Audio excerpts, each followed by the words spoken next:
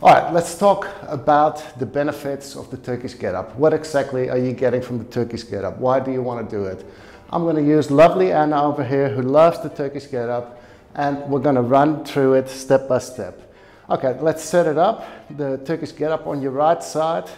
So the bell would be on the right side. So first you would roll into it and bring the weight up. We're going to do it without weight because I'm going to ask her to stop at certain points. It's just a whole lot easier. So she's got the right knee up, the left leg straight, and it stays straight. She's going to drive that uh, heel into the ground at some stage. The arm, the left arm is at 45 degrees, right there. The right arm is going to bring the weight up and chest press it. So now chest press it. Here we go.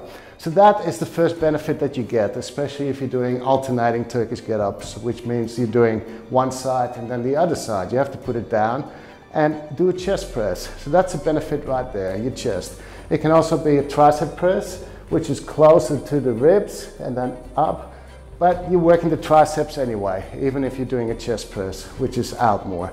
So we got the chest that's working for uh, the prime mover there uh, when you're pressing it up. Then we got stabilization. That weight wants to go here, here, here, and here.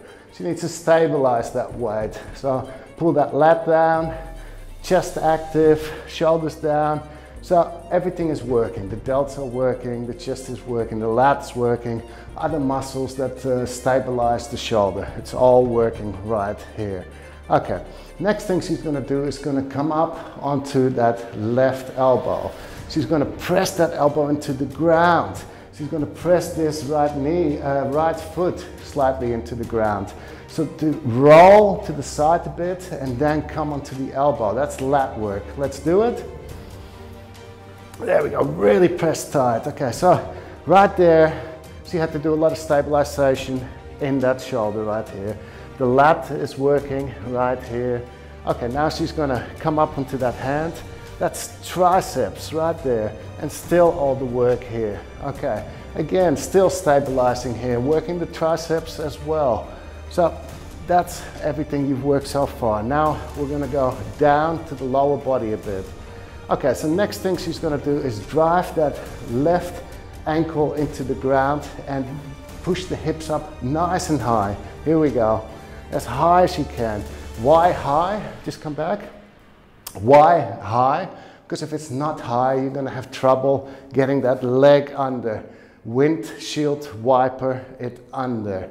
Okay, so what she's to do is this shin is to swipe the floor and that knee comes out, external hip rotation. This ankle comes towards the right ankle and bringing that knee under her. So let's press that hip up again. That's also glute work, a lot of glute work there.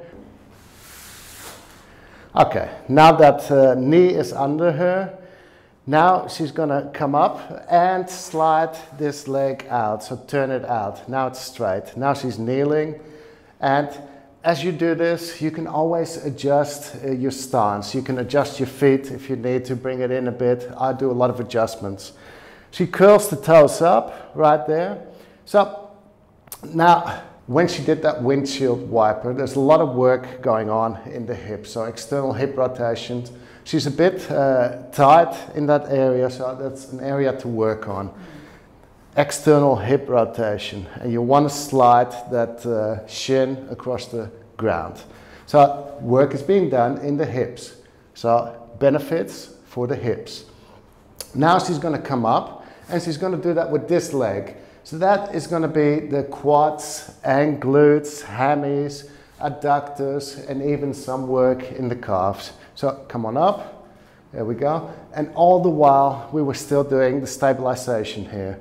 A lot of work is done by the core because that weight is at the top here. And again, there's stabilization happening there. So the erector spinae is working, the abs are working, obliques are working, everything is working. We always say it's a full body uh, exercise. It doesn't mean they're all prime movers, but they're all working to stabilize. Okay, now she's going to come back down with her left leg, so reverse lunge. Again, that was work done with this right leg because all the weight is on the right. You're sliding the left back. Now she's gonna windscreen wipe this in and come down to the ground, looking at the weight. So there's external shoulder rotation happening as well. So great work for the shoulders. There's stabilization, there's rotation, etc. Now she's gonna kick that left leg out and really push those hips up. Glute work, etc. Down with the hips.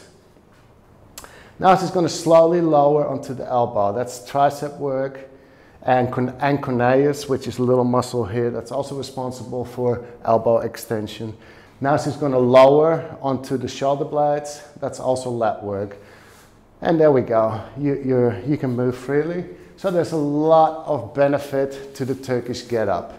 So you got your chest, your chest press, your triceps, your shoulders, your hips, everything in your legs, your core, it's all working.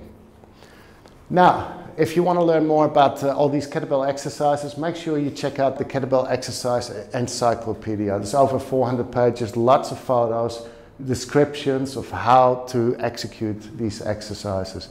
And come and join us in the Caveman in Inner Circle. To learn more about kettlebells, go to cavemantraining.com slash shop for kettlebell courses, DVDs, books, shirts, certifications, etc., beginner to advanced.